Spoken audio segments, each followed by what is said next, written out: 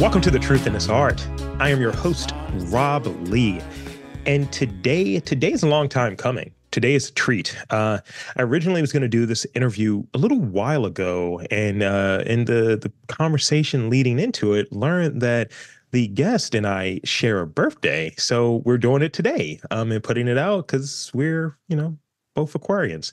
Um, so today's guest is a Dutch artist celebrated for her captivating figurative paintings and exploration of new contemporary realism, unveiling the complexities of archetypal female figures within the male dominated infrastructure.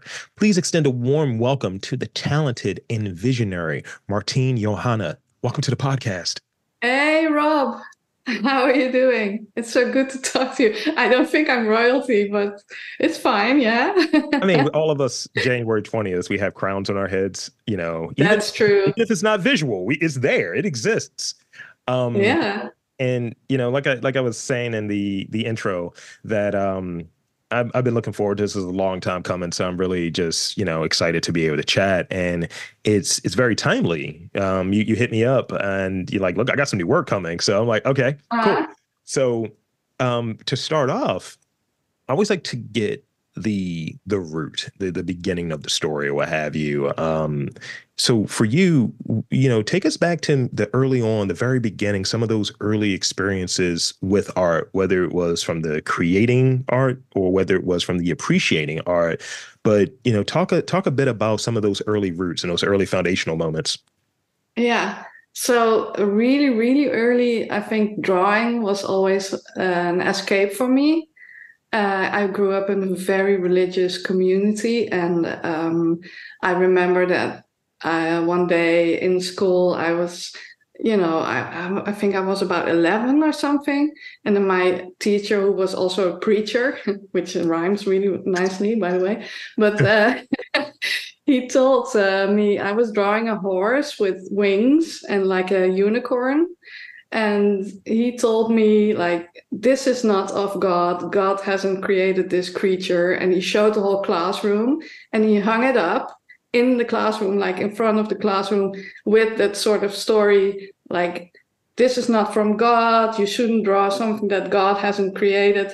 And all I could think was, "Oh, I have my first exhibition.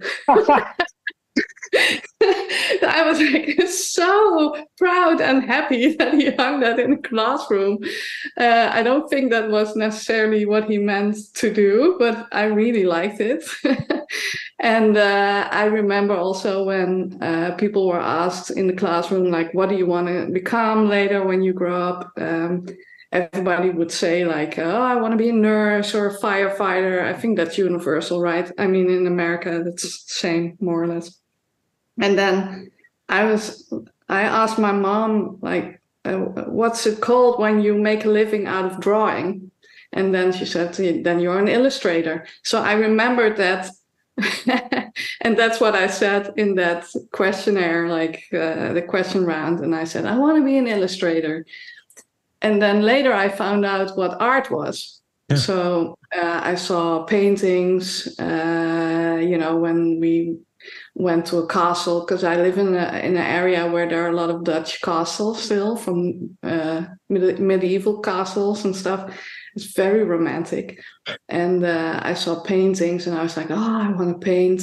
And then I saw a picture of the Mona Lisa, and I I uh, tried to copy that when I was about 15, in- and I did it in watercolor, and I liked it so much. And then I started to paint uh, Monet and Manet and all the expressionists. I tried to copy those.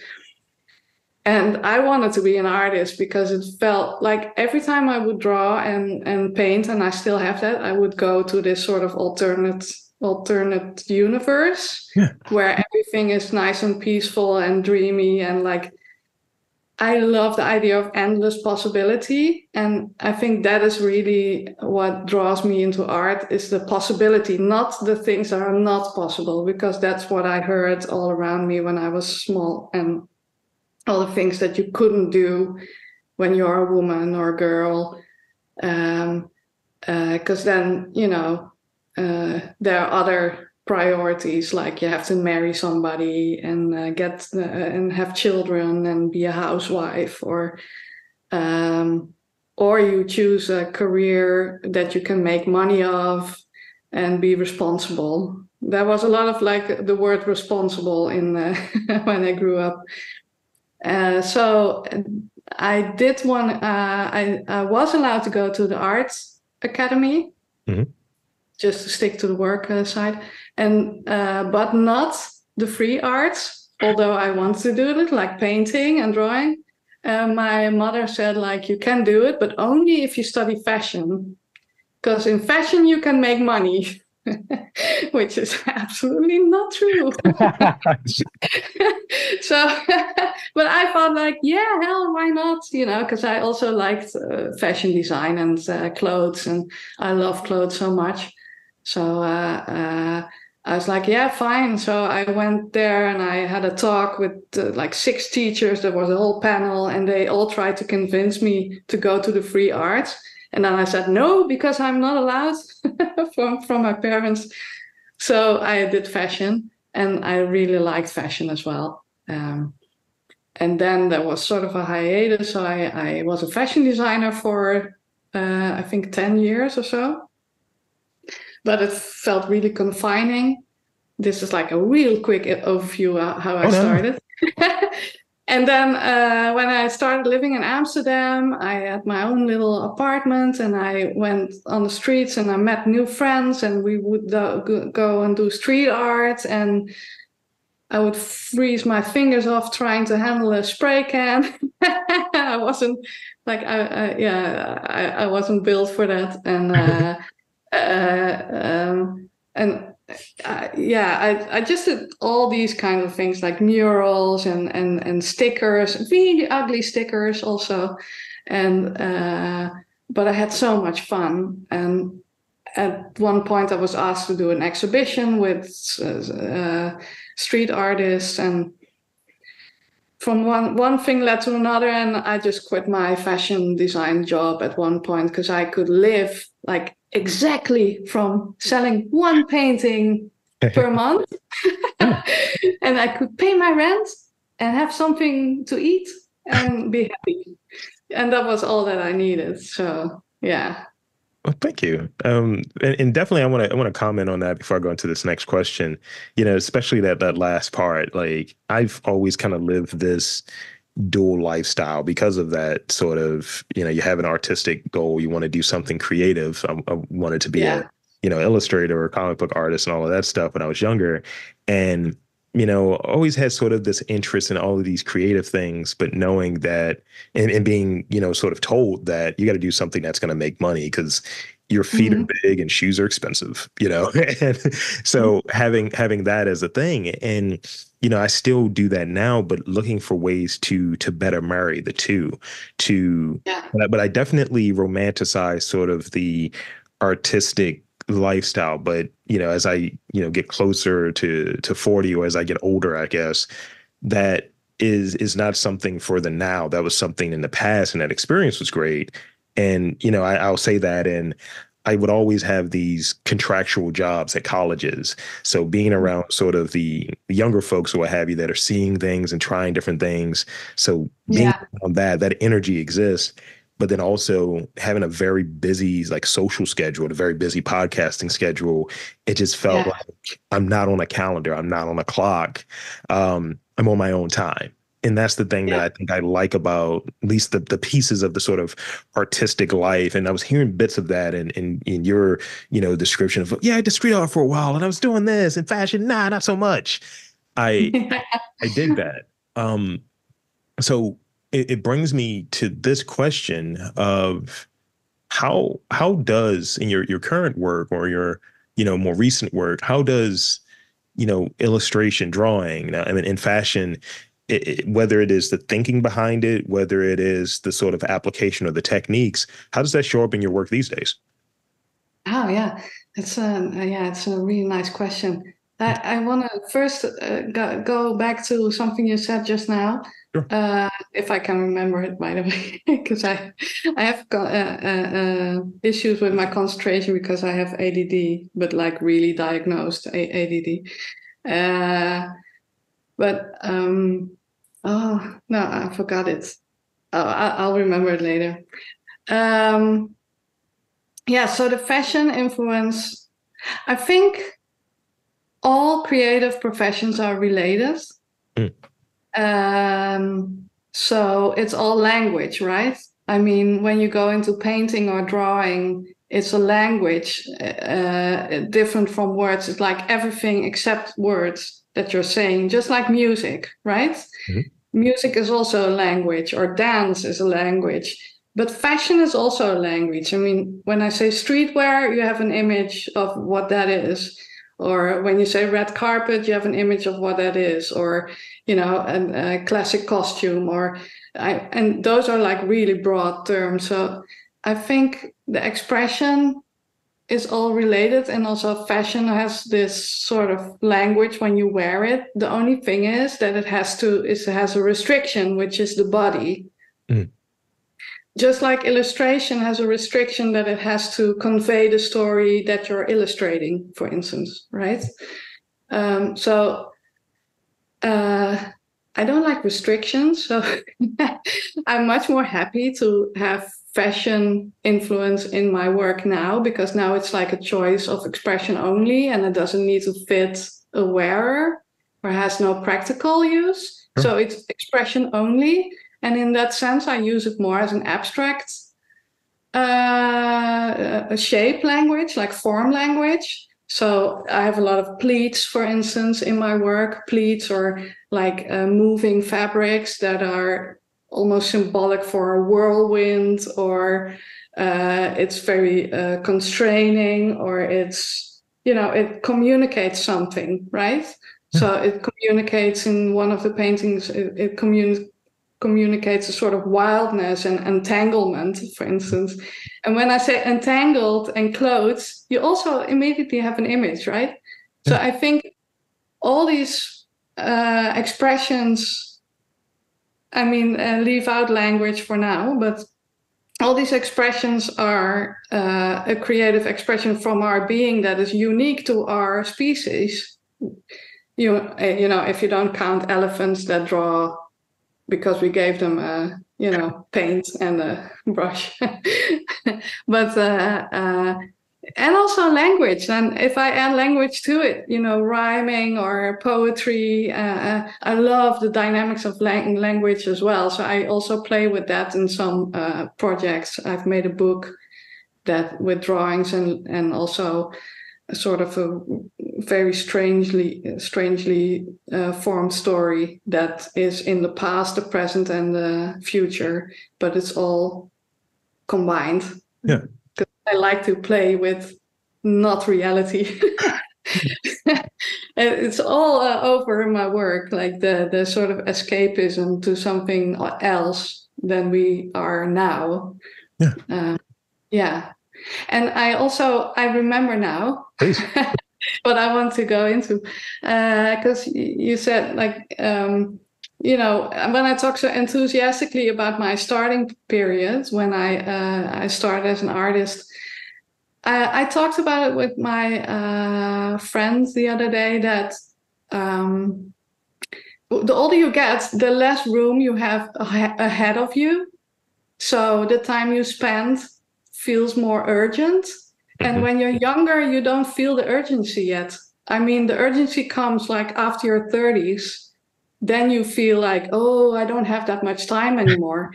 So Yeah. the time you have ahead of you grows shorter and the time behind you goes bigger. I think this is something that's really ni- not nice to hear for young people, but that's what happens. So you have to really invest in what you really like when you're younger so you can you know uh, uh, build on that when you get older so don't put off anything i think if you have ambitions or feelings or love for something you want to do you have to try and do it while you can so you can you know sit back a little bit more when you get older and enjoy that the choices that you made That's a, that's a, that's a really good point because like, and this is now now I'm free jazzing now.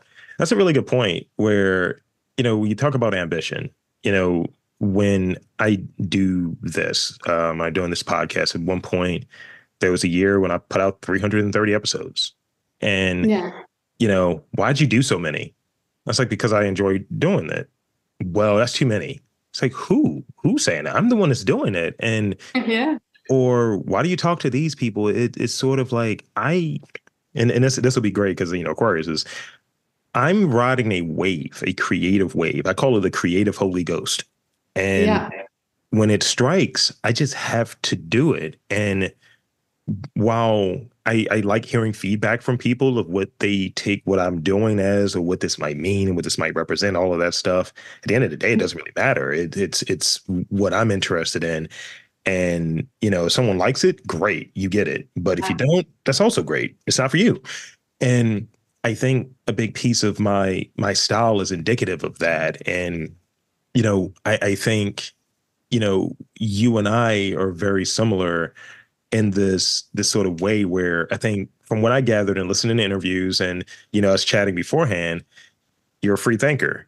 You're, you're Yeah. huge on the administrative parts of like, huh, really, I gotta Oh. this out. Um, and you're a bit of a rebel. I see it. I, I see the hair. I, I, you're a bit of a rebel. I see it. I, I dig it.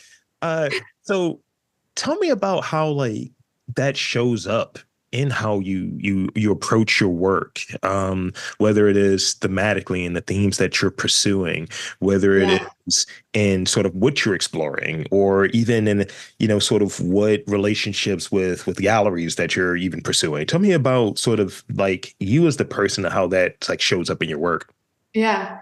So what I feel is like, even uh, if you're talking about podcasts, for instance, I think every conversation is valuable. Even like if your conversation is not that great, it's also a valuable thing because it's an experience. You know, you learn from it, and I think uh, also that's how I stand in life, more or less. I'm very open also to criticism or to like really uh, uh, build up criticism like with reasoning not with judgment only because that's not criticism to me i think that's a weakness if people do that um, uh, i think it's just uh, being open to everything and learning and uh, don't restrict other people's thinking as long as you don't harm each other I think every, everything can come into question, except that I really trust science.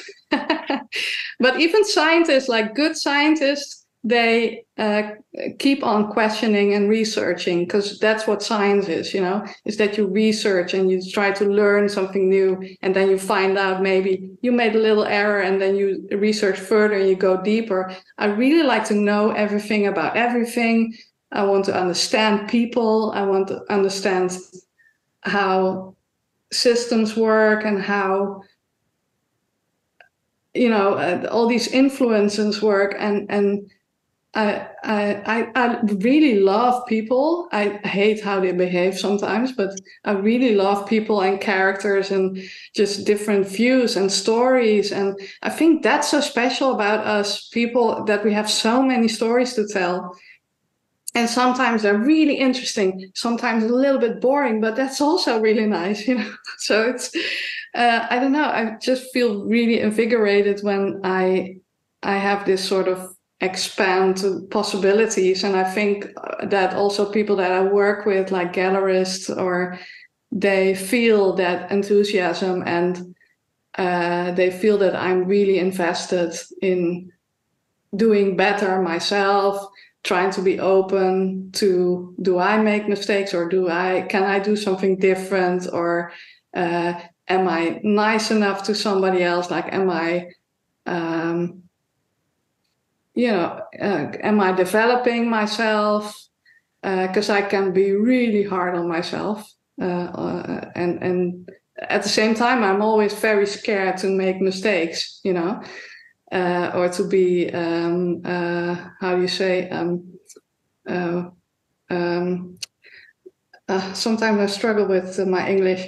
When somebody says no or like you're yeah how do you say that? When somebody says I'm not yeah like rejects you Yeah, like i'm very scared of rejection sometimes and uh but I also when i get that then i feel like uh, oh but i survived this like it's not that bad as i thought you know It- so it- yeah it's it's one of those things, and and and, and I didn't mean to you know really cut you off. But I wanted to at least mention this where I again it's it's the same. It's it's the same in going through through this sort of process, and I had to understand like and accept it. You know where you know you're going through, and it definitely I want to get your take on this.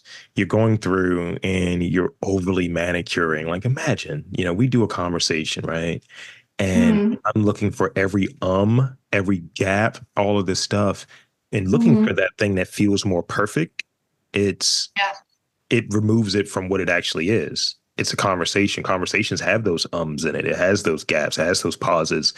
And you know, if there are things that should come out because it's like in poor taste, or the person's like, no, this is still going to be going out, then we should probably remove this piece of it. That makes sense. It may not fit contextually.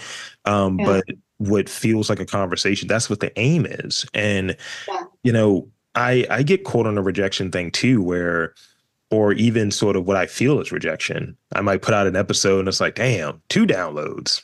Guess I'm done, guys. You know, and then there are other times where it's wow, this went really well. But my thing is, it's it's this. It's it's the actual connection with the person. I'm Yeah. not here to be a podcaster to do this. I'm I'm here, and this is gonna sound so pretentious. and I feel almost hate myself for saying it, but it's it's really about connecting with people. It's really about building sort of relationships. Um, you know, you, you touched on like friendship as a theme. I've I heard that a lot in what you were saying here, what you were saying in previous podcasts. And Yeah. I'm always curious about how friendships maintain and how they develop when it comes to, you know, this world with social media, with artists and being in it. Cause Yeah. I felt like maybe I'm friends with people, but turns out maybe I'm not. Maybe I'm not really. Oh, I've had the same. yeah, I've had the same. Yeah, no, it's true. But also, I think the anxiousness or being rejected, I, I think everybody has it, and I think the the mo- the people that say they don't have it at all have it the most. Mm. And uh, like Elon Musk or Trump, yeah, yeah. I didn't want to mention them, but no, Well, Trump No. one of the reasons this podcast started because I was like, screw this dude. Here's why. yeah, but I think people should talk more with each other and, and shout less because if you shout too much, you don't, you're not communicating. I think communication, I mean, communication is key. It sounds so corny, but it's true, you know? We all should be able to speak with one another and try to understand. I think there's too much uh, of a split going on everywhere. yes, give me the space to be wrong. Give me the space to grow. And even in it, it's curiosity too of I wonder what these people think. And I, I you know, I, I'll say this before I move into this this next question I want to ask you. Um, Yeah. it is I, I was in a meeting yesterday and we were talking about sort of racial biases here. Yeah. And Yeah. I was hearing from another person of color that they don't exist, and that specifically black people, the call is majority black people. This person was not black, uh, Yeah. said that I just think black people are victims and they're just choosing to be victims. It derailed the call. Mm-hmm. People were losing their minds. It rightfully so. And and Yeah. the, the person was very defensive about their position and really it derailed it because it wasn't like a discourse we were you know the people on the call were giving her sort of that space to be wrong maybe she you know english is not her first language so maybe she misinterpreted it's like no no no she spoke very eloquently about her ignorance and you know mm. It, it's it's sort of that thing and i i think you know people at their root they they want to be able to have common ground with folks and be able to connect with Yeah. folks but we get too affixed to sort of a belief system and Yeah. it's like what drives that belief system and Yeah. again going back to this this notion of perfection right um Mm. that's I think that's the thing. I never want to be wrong. I always want to be right. So Yeah. For for you with with sort of the, the things you touched on, sort of the rejection thing, sort of being very very hard and very critical of yourself at times. I'm like I said, I'm the same way. We're on the same page. So, so, uh, Yeah. what are your thoughts on like perfect or imperfect work? Yeah, I think I think that is a thing. You can't really put your finger on it, Hmm. and because you can't, it's it's like an unobtainable ideal. It's like utopia, and utopia can is only utopia because it's something you never will get. it's the impossible thing to strive for because you have your talents and you have your practice and those combined will give you your best at that time and you can strive for something better and it will make you grow but it never goes as fast as you would like to uh, it to go Yeah. but it's i think that's not a bad thing because i think growth takes time it's the same like if you get money tomorrow like a million dollars you'll uh, you will be able to buy anything you want almost yeah. uh, say 10 million 100 million. but then you're not grateful anymore Right. so i think the experiences are so much more worth than uh, than uh, having the perfection Mm. perfection is something you can strive for i mean that's my sensible uh, side that's talking now uh, but I know that I'm harsh on myself because I know that because of what I've been through as a child already, and later on also as a woman. Uh, you know, I've had a difficult relationship with my mom, and uh, she had high expectations of me, and we had a very strained relationship. There was a little bit of violence in the house, and uh, some neglect on some part. And on the other side, I really loved her, and she's sort of a muse also. It's really complicated, mothers and daughters st- stuff. But I've also been sexually assaulted when I was smaller and also when I was older a couple of times. And then, you know, you your self-worth takes a hit. And I think that's also when you said about uh, uh, black, black pe- people like that that was it a lady that said it i said Yes. lady It was, yeah. i said lady like we're in mississippi uh, but uh, sorry for the um, but uh, uh, yeah it's like sometimes men say it about women you know that they're always playing the victim I mean, I can't even imagine what it would be like to be a woman of color, because that must be even harder in life. Uh, but I know how it is to be a woman and not have freedom always because people take advantage of being stronger, you know, and you're isolated. So, uh, um, yeah, in that sense, I think, you know, the self worth thing plays into uh, also when I work and how harsh I am on myself. It has to be, uh, you know, it has the roots in uh, being seen as something that's not worth Hmm. something. Yeah. I, I, I- hear you. Um, and thank you for for sharing. I mean, it's it's you know we have these these real conversations, and you know at times when something that's real and it's something that plays a role in sort of the thinking that goes into the work or how we approach our work or whatever it might be. yeah. you know, sometimes people want the really clean and sanitized answers. Like, no, here's the real answer. And I had this idea because you know, us Aquariuses, we're fake philosophers. Um, I had this this notion of, I call it like perceived deficits, and however you maybe perceive Mm. yourself, or you know, you maybe act in accordance to. So, like here, and I would imagine Yeah. different parts, but like here, you know, if you're of a certain size, for sake of argument, like I'm six mm-hmm. four, probably like two eighty something, but I was three fifty not long ago, and Yeah. you know, you you, it, you hear these things of oh you're lazy because you're you're overweight, you're Yeah. because you're so you work harder than the other person, and you're Yeah. already working hard, and it, it's some of those things that's like having like a fat guy mentality, of Yeah. you know just wanting to really show that your worth, your the quality of what you do, how you go about what you do. And that extends yeah. in the professional realm, that extend extends in the professional and art realm, but it extends on how we view ourselves. And all of the stuff is baked in. So yeah. Yeah. Or even this this notion where I've heard at times because I am who I am, I can only be who I am, right? Yeah. And I've yeah. had folks say, Why do you talk to these white artists? why do you talk to these artists from other places? You should be talking to the black artists. And I was just like, I talk to whoever I find interesting. I don't think that's black enough. I was like, didn't ask you. And but it's no, sort it's of a, this, yeah. It's a skin deep. Come on, man. Yeah. and it's yeah. and it's something where it's other people's perspective on what and how you should exist.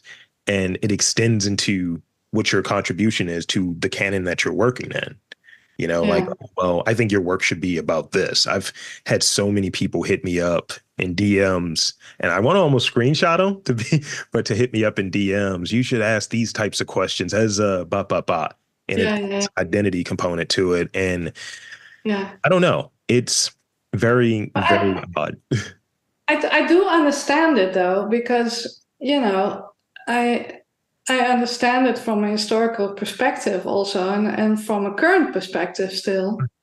Um, uh, but I always think it's interesting to talk to anybody, so that's the only difference. But I don't come from a group that's, uh, you know, considered a minority, except that I'm a woman. uh, and so that's also, and I don't like the word minority at all.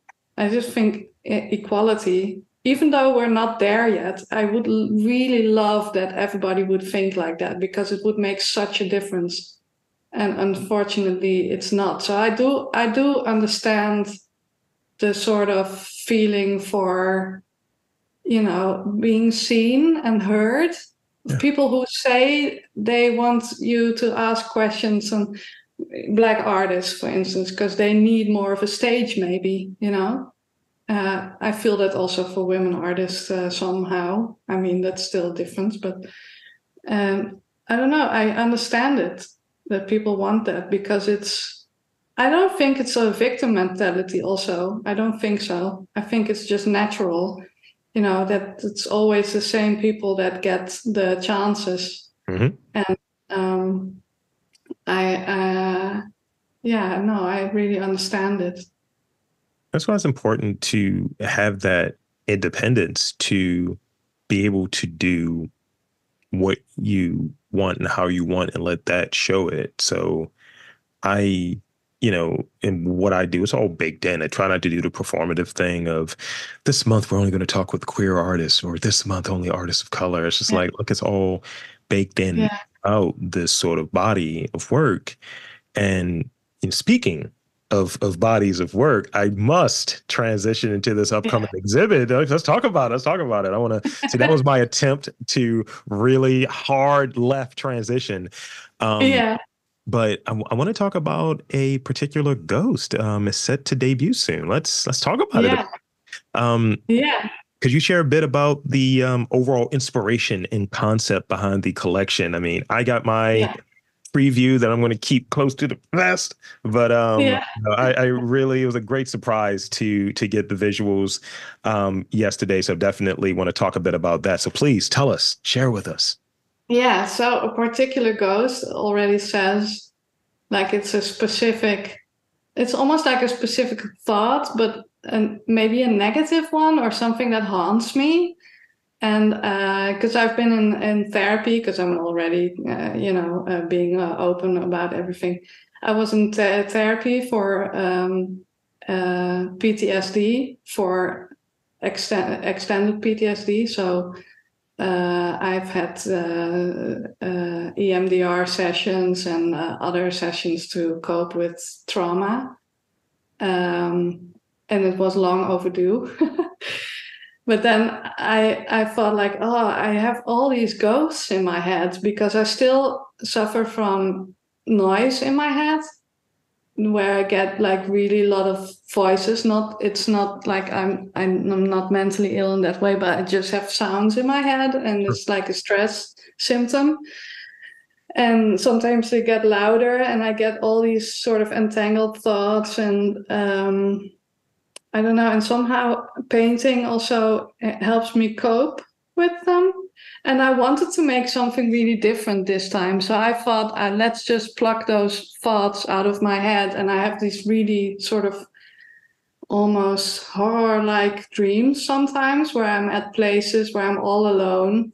And uh, then i thought like why don't i paint places that i see in my dreams? So this might be new to people who know my work but i've painted a couple of landscapes this time. And uh, they're sort of enclosed in abstract forms almost like my brain shapes.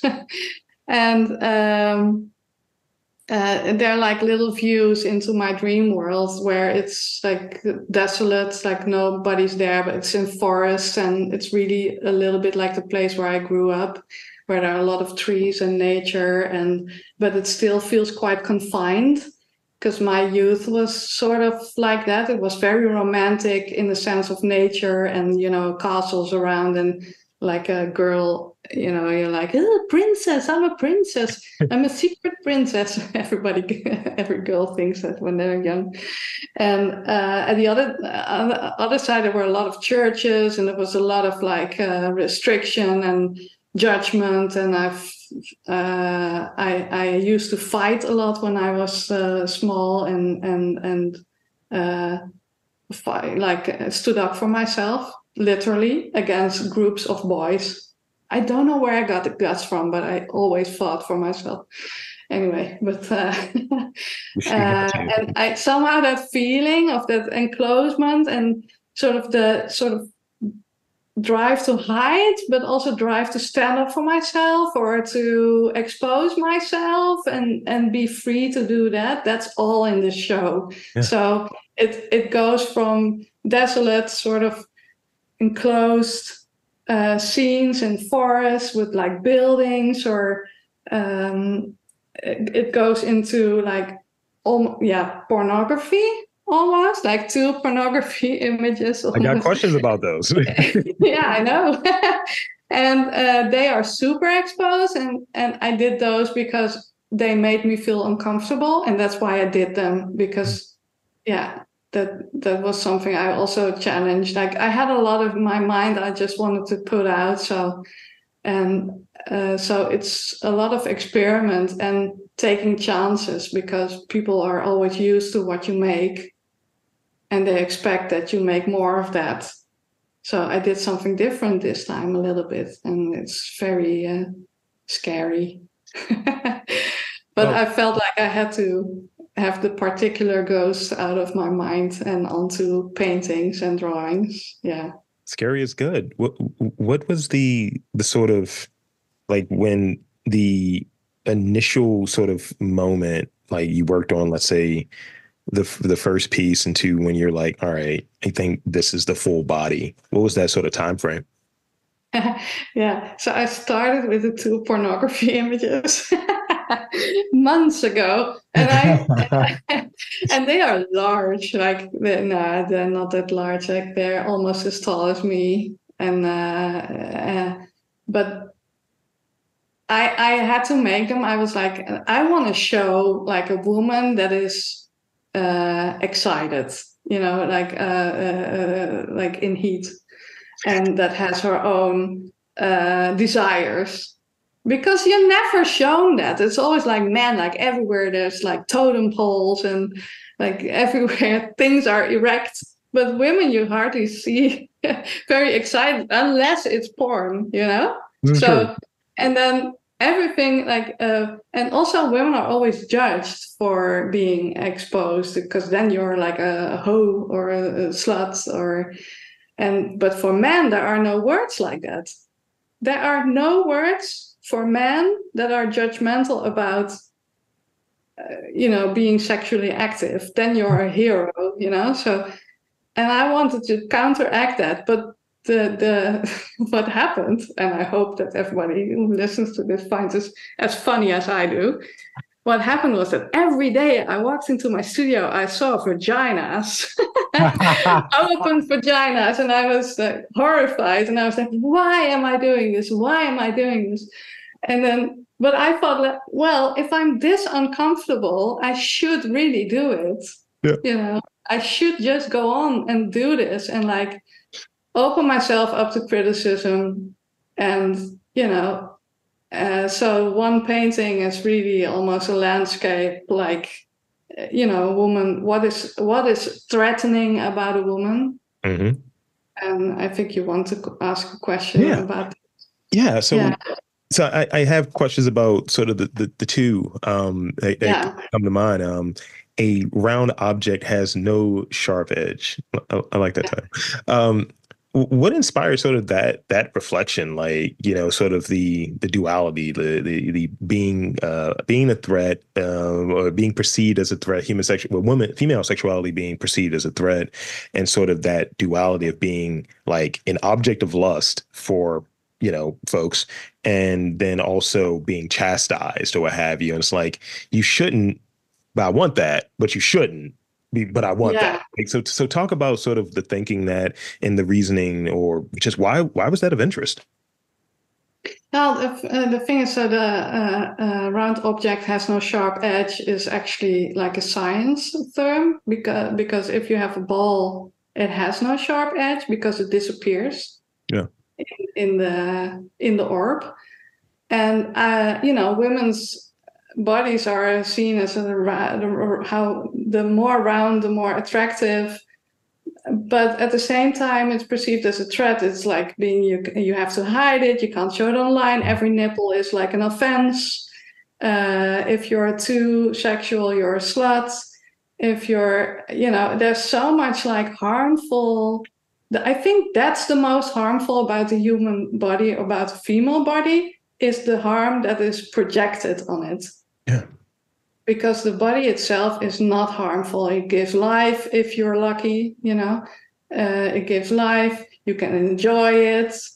Like there's literally nothing harmful about a woman's body, but all we do is treat it like something like I'm. I wanted to do this like a cross, like ah no way like a vampire. No, ah, women uh. and it's like uh, you know it's uh, I, I mean it starts in the bible with eve and being the temptress and then you know she messes up everything because she wants to know too much and the women shouldn't know that much because you know you don't want to have that power in women's hands and it's, it's like it's so ugh, ah it's so cringy if you think about it and then i was like every time i walked into the studio and I saw that work i felt ashamed this is mm. not a lie. Like I felt shame. And I was like, why do I feel ashamed? It's because that's all I've heard ever since I was growing up. And I became I came into my teens, is that I had to be ashamed of my body, I had to be ashamed of my behavior, I had to be ashamed of making choices for myself, looking for freedom, uh, for expression, you know, and it's it's oppressionist. So that's for me, the painting is freedom, you know. And so I get really like, Ugh. i hear you I, I, I like it yeah, and and um, and uh, the other painting, uh, slow motion right sorry, but the other one you were going to describe uh, slow motion yeah, slow motion. Yeah, you had a question about that as Yes. well.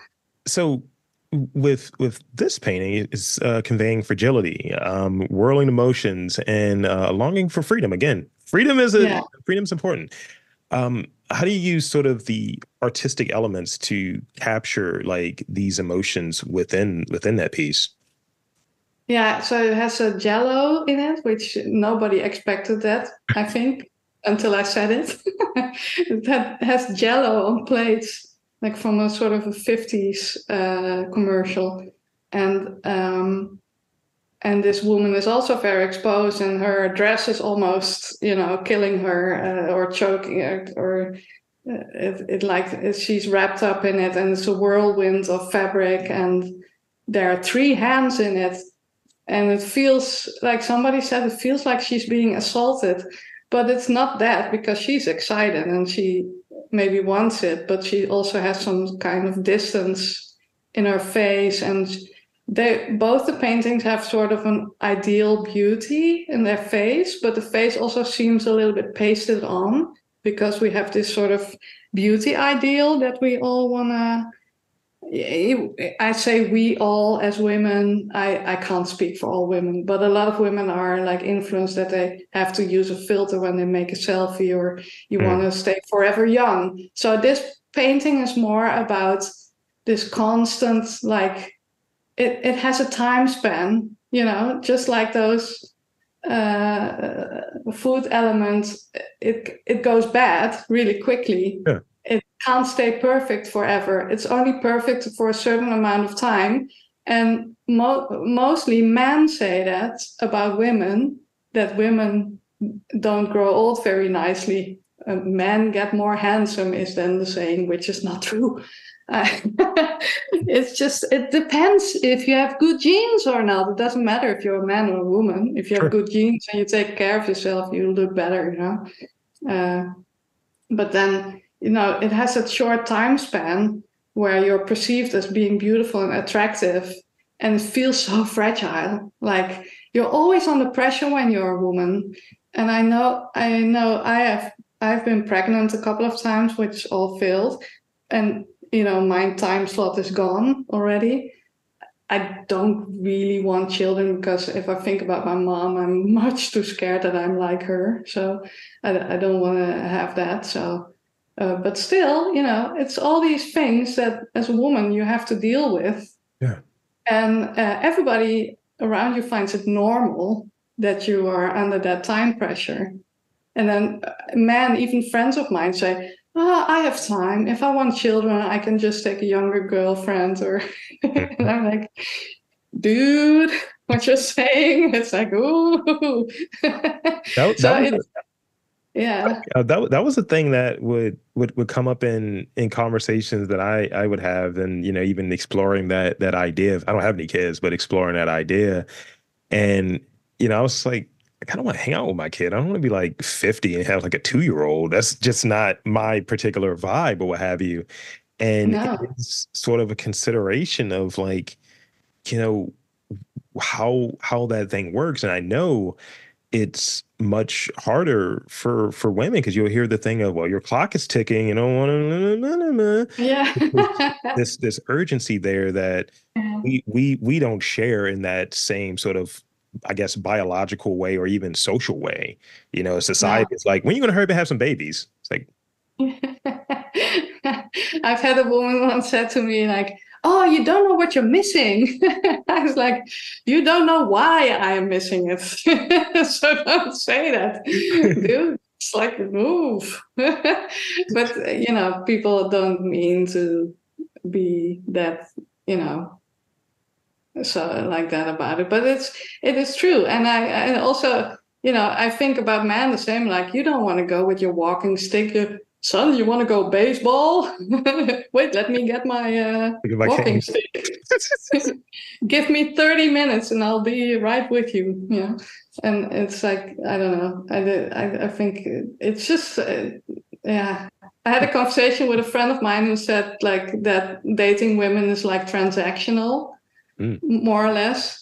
That he thought if he paid for dinner, then he had the right to have sex. But if she would put out the first night, like he wouldn't date her anymore because mm. then she wouldn't be as valuable. And I was like, oh my God, we're in the 50s. I'm, I'm in a time machine. What's happening? It's a ridiculous so concept that so many, yeah. that it, it comes back that it is these faux alpha, all of that stuff. And I think, you know, frankly, what what happens is, and it goes back to one of the things you touched on earlier, that people aren't communicating of what their their values are and what they actually want. So because things are positioned so often like a transaction, because you know, some yeah. of the music is like you should be using guys for these things and these resources and so on. There's some conditioning in that of way. Course. But then people just think like, oh, this is how things work. And I, I think when we get into sort of the mixing of generations, and that's another thing, because yeah. I, remember talking with one of my friends. It was like it's a lot of people who want to be sugar babies that aren't giving out sugar. And I was just like, that's not how that transaction works because we're agreeing to the transaction. You know what I mean?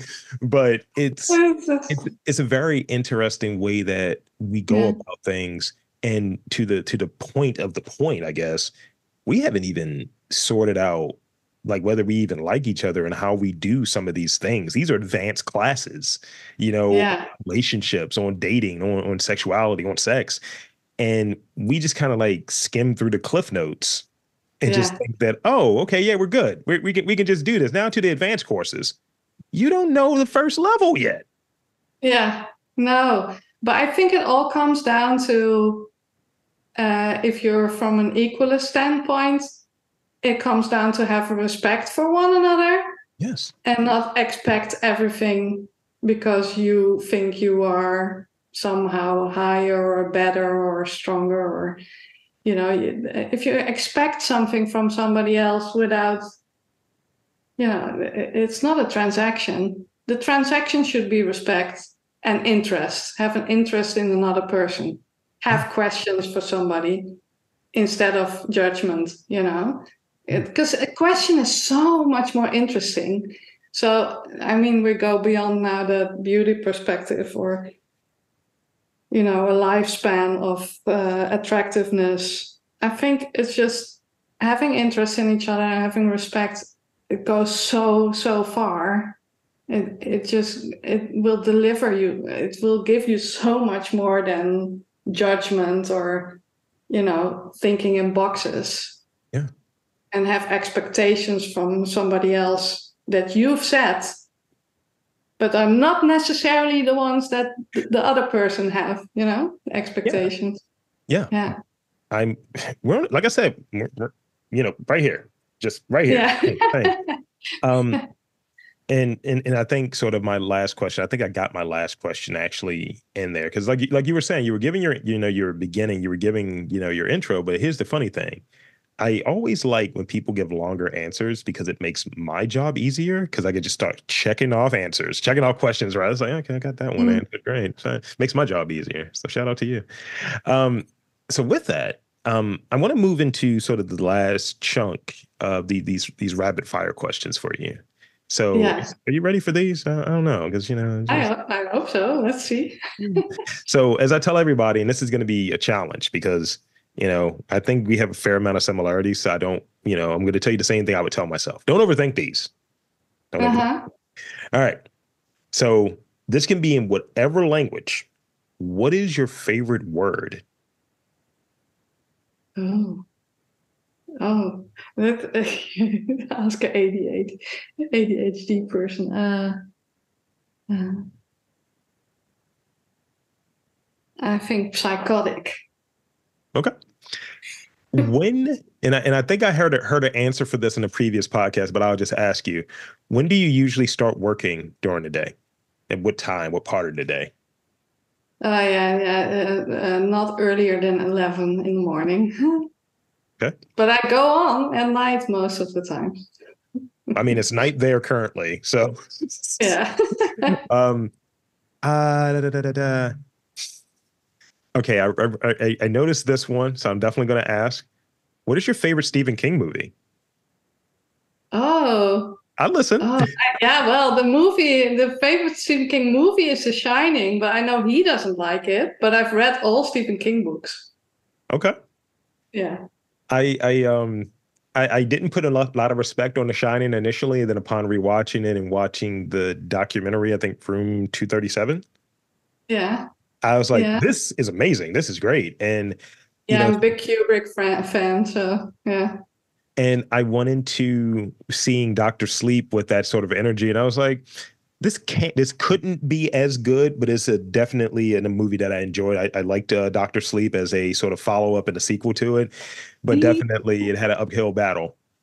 Yeah. Oh yeah. I yeah. I didn't like Doctor Sleep that much. Oh man, you lose the because I, I don't think I think I think I thought it was too much trying to do the Kubrick thing. But if you're not Kubrick, you should do your own thing. I think. But that's my I'm. If I, sometimes I just I can't get over my pet peeves. So uh, when they use the same music, Uh, I thought the music was misplaced sometimes, And I thought it was too slow and too heavily on the dramatics and too explanatory, which I don't like. Because that's sometimes something that Stephen King does, that he explains his stories too much, and I like the mystery. So that's what I liked about The Shining. That there was a lot of open to interpretation stuff, and I don't need a further explanation. You know. I, I, that's that's that's legit. That's legit. That's legit. No, no, no. I mean, Yeah. as, a, as a person that also does a movie review podcast, I might have to have you on to talk some movies. We might have to talk some movies. I am. uh, I have seen almost every good movie there is. Like I, I binge watch movies, like but in a good way. Yeah. I know I have one of my best friends. He's like, uh, no, you should watch less and more specific. La la la. But he's very uh, like very specific. But I have watched a lot of and a lot of horror. I'm a big horror fan, like Right. horror fanatic. I'll get into uh, the documentaries and all of that stuff. I have the whole Shudder plan. Watch that pretty regularly, and Yeah. um, I love A24 films. A24.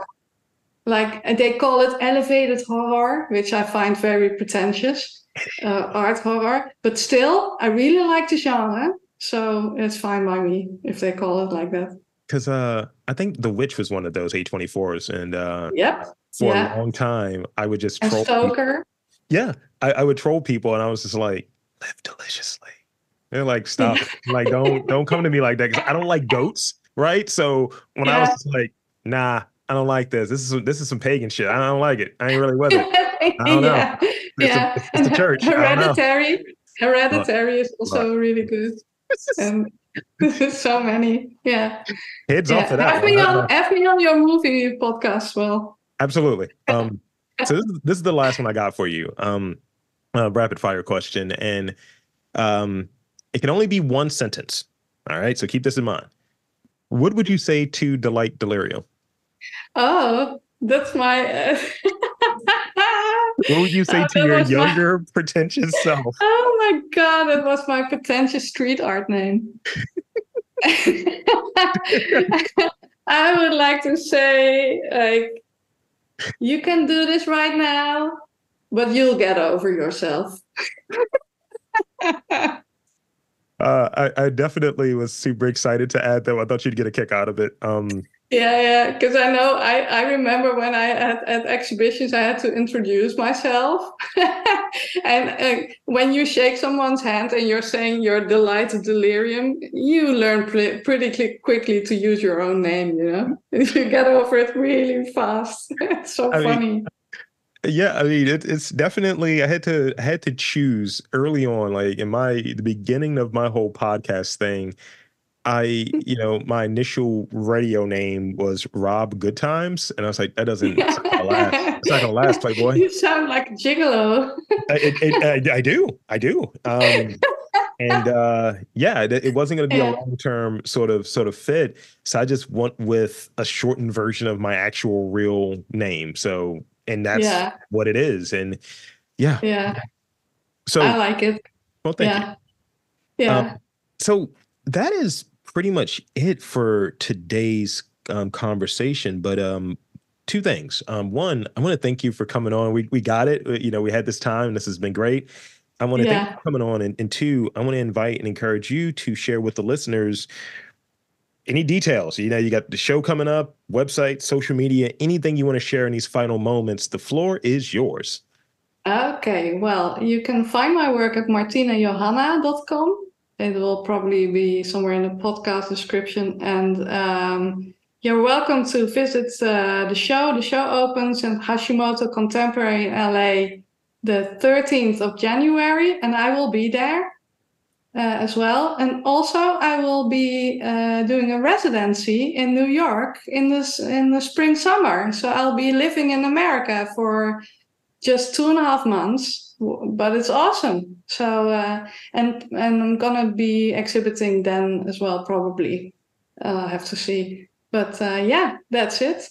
And uh, check out my work. I hope you guys like it, and if not, it's okay too. I'm open to anything. and there you have it, folks. I want to again thank Martine Johanna for coming on to the pod. And um, I'm Rob Lee saying that there's art, culture, and community in and around your neck of the woods. You've just got to look for it.